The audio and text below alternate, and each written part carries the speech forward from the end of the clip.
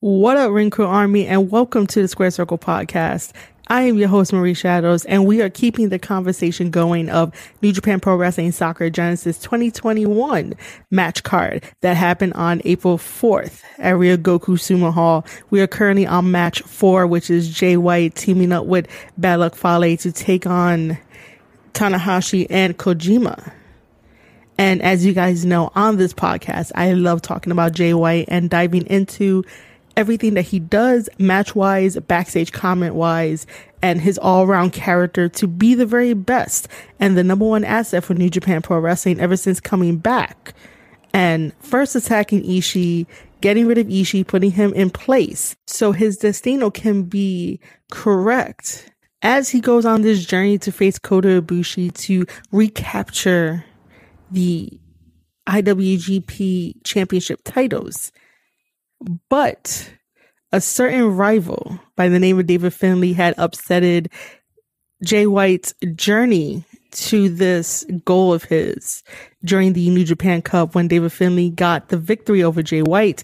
And now it is a 12 and to lead. So David Finlay is out of place at this moment in Jay White's journey to one day get back to the top. And now Jay White has his sights focused on that never openweight championship that Tanahashi currently holds in New Japan Pro Wrestling. Jay White again wants to be in the conversation of the greats in professional wrestling. He wants to become the first ever quadruple crown champion of New Japan Pro Wrestling by challenging Tanahashi for that never open weight championship belt the only belt that he has not won yet in New Japan Pro Wrestling. The other belt is the six man never open weight tag team championships that I was hoping himself, Tama Tonga, Tanga Loa, would have captured in the beginning of the year in February when Jay White went after Ishii, Goto, and Yoshihashi.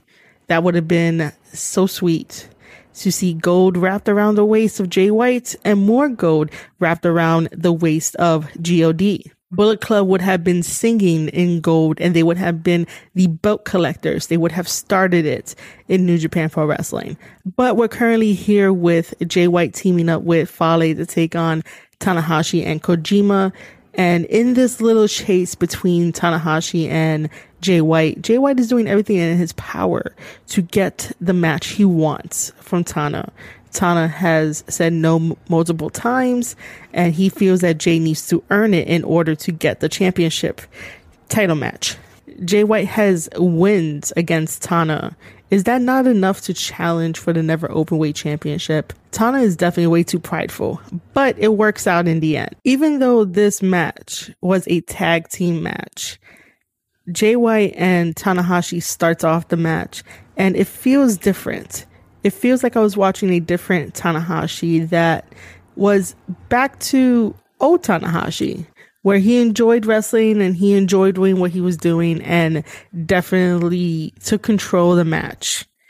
He kept the side headlock control for a while in the beginning of the match on Jay White, until Jay White decides to pull at Tanahashi's hair, and so did Tanahashi return the favor and then backed up Tanahashi in the corner and starts delivering forearms and kicks, giving himself an opening so that way Tanahashi doesn't have to maintain the side headlock for so long.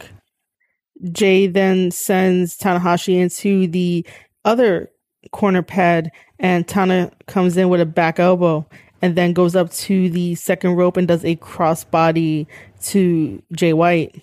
Tanahashi then tags in Kojima.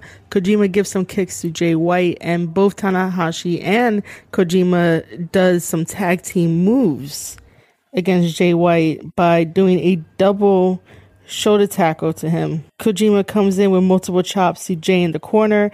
Kojima then sends Jay White into the other corner pad and does a splash. As Jay rolls away, Kojima climbs up to the top rope and Gedo holds Kojima's foot. This allows Jay some time to get up and throw Kojima from the top rope onto the mat. Jay then knocks down Tanahashi and attacks him on the outside, throwing him into the barricade. Jay comes into the ring and does some chops of his own to Kojima and then rakes the face of Kojima and then does a neck breaker to him in the middle of the ring. Jay White goes for a cover. Kojima kicks out at two. Jay then tags in Fale. Fale then slams Kojima down onto the mat and decides to stand on his back while Jay White distracts the referee. Fale then tags in Jay. Jay knocks down Tana. Fale holds Kojima. Jay comes in with more chops and then runs off the rope. However, Jay is met with a big boot by Kojima. Kojima then fights out of Fale's grip with an elbow and a DDT to Fale. Kojima comes in with the Koji Cutter to Jay White. Tanahashi comes in with some combo strikes, and then Tana sends Fale to the floor. Tana comes in with a flying forearm, then a body slam, and a senton on Jay White. Jay kicks out at two from the attempted pin by Tanahashi. Jay White and Tanahashi then begin to do a stand in switch until Jay White grabs Tanahashi's hair.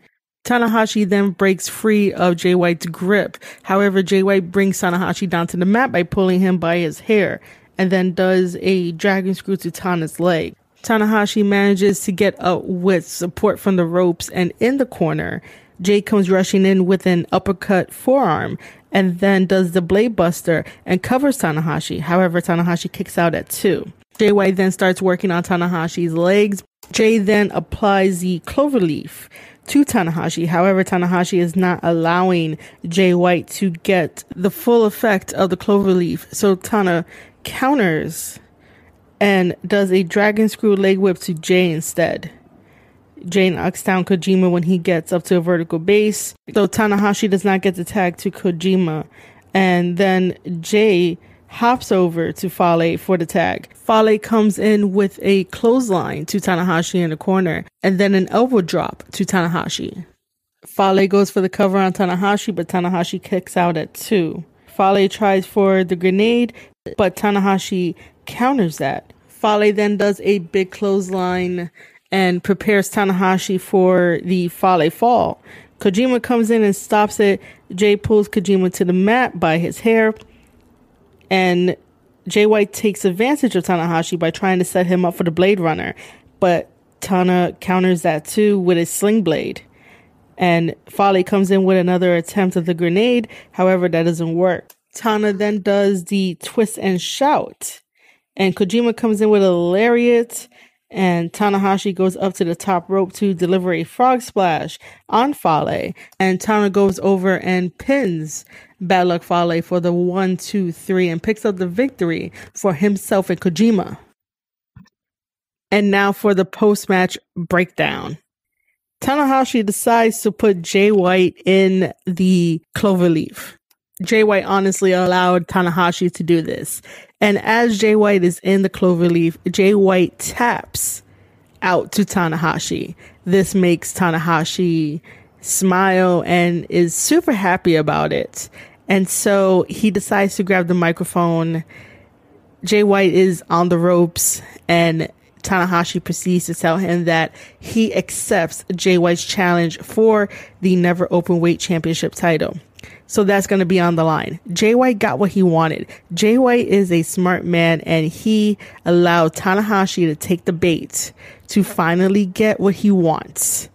And you could definitely see as he turns to the camera and does a little smirk and you can see the mischievous glee in Jay White's eyes that lets you know, man, Tanahashi took everything, took the bait, took everything that Jay White was throwing at him and that pride. You could definitely feel that pride coming from Tanahashi that he's going to put the belt on the line and he knows he's going to win because he had Jay White tap out to the cloverleaf, which he calls it the JTO, which is the J tap out which is also a play on the fact that when Jay White made Tanahashi tap out, he just called it the TTO and is the Tanahashi tap out. This is going to be a very interesting matchup. Obviously, you guys know that I am rooting for Jay White. Jay White will be our new never open weight champion come May 3rd on night one of Wrestling Dontaku. Now, post match comments from Jay White. Jay White is having the most fun that I've ever seen a wrestler have in his or her career. The way that he delivers promos, the people that he brings backstage to have these interactions with. So he brings Yuya. Poor Yuya. One of these days it's going to be Yuya versus Jay White. I just know it. It's going to be Yuya versus Jay White. Yuya is going to have something to prove so that way Jay White doesn't continue to pick on him. But is playful, lovable, picking on him. Anyway, he brings Yuya with him because Yuya is helping him to the back after Jay White has been put in the clover leaf, and he says that he didn't tap out. Jay White knows he didn't tap out. So him and Gedo are asking Yuya if Jay White tapped out. And Gedo asks Yuya in Japanese, did Jay tap out? And Yuya said yes. Yuya is always putting himself in truthful situations where he needs to learn how to lie. The first time around was when Jay White asked Yuya if White was going to win or Ishii was going to win, and Yuya says Ishii. In this situation, it's did JY tap out? And the correct answer is no. Even though we all saw JY tap out, it wasn't really a match. It was during the post match because the bell had already rung. So it really doesn't count. So JY technically did not tap out to anything. So in this situation, Yuya decided to say yes because that's what he saw. That's what we all saw. But he should have said no and lied and basically bring up Jay White's ego. But it's totally okay. Jay White just talks with Yuya and runs him through what happened and stuff, and then pushes him away and tells him to go tell Tanahashi that Jay tapped out. And that's exactly what he did. Then Jay White proceeds to mention how he got Tanahashi to do exactly what he wanted. And this is how good of a manipulator Jay White is. Jay White gets what he wants, whether it's win, lose, or draw when it comes down to it. Jay White gets what he wants. Sometimes he could be a little overconfident, and that cockiness can definitely get him into some trouble and have certain pieces to his puzzle out of place. But nine times out of 10, Jay White gets what he wants. Jay White wins. And that one time is to have room for improvising if things go wrong, if things go not as planned and you have no backup, that is your little window to improvise to make sure that you are still number one, to make sure that you are still the winner, and to make sure that people remember the hurt that you gave them if it ever comes to that. So, Jay White definitely had Tanahashi where he wanted him. Jay White tapped out so that way Tanahashi can feel that sense of pride to put that championship on the line and to feel like he will win at Wrestling Dontaku when we get there on May 3rd. Because that's what pride does to people. Pride makes you feel like you can definitely take on the whole world and definitely not lose. And when it comes to your rival, if your rival taps out to you, then you're definitely going to retain the championship. That's probably what's going through Tanahashi's head. Wow, Jay White is celebrating the fact that he got Tanahashi to do exactly what he wanted, has Tanahashi where he needs him. And then when it comes time for their singles match, Jay White would definitely be our new never open weight champion. Because then what's the point of all this build up? What's the point of JY wanting to be in the conversation of being the first quadruple crown champion? It wouldn't make any sense. The payoff wouldn't make any sense if JY does not get this championship title. So confirmed for May 3rd, Wrestling Dontaku, it would definitely be Jay White taking on Tanahashi for that never open weight championship title. And if you guys enjoyed my analysis of Jay White and Fale taking on Kojima and Tanahashi during New Japan Pro Wrestling Sakura Genesis, then leave me a comment.